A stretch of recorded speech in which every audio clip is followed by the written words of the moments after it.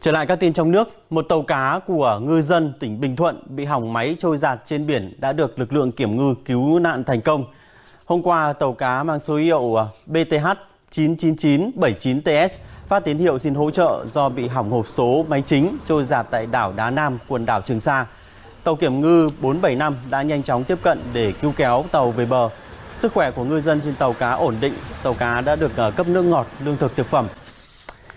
Tăng cường kiểm tra xử lý nghiêm việc ờ, đốt chất thải, phụ phẩm nông nghiệp sau khi thu hoạch không đúng quy định. Đây là đề nghị của Bộ Tài nguyên và Môi trường ờ, với Ủy ban nhân dân các tỉnh thành phố trước tình trạng đốt phụ phẩm nông nghiệp sau thu hoạch như là rơm dạ gây ô nhiễm không khí tại Hà Nội và các tỉnh thành phố đồng bằng sông Hồng.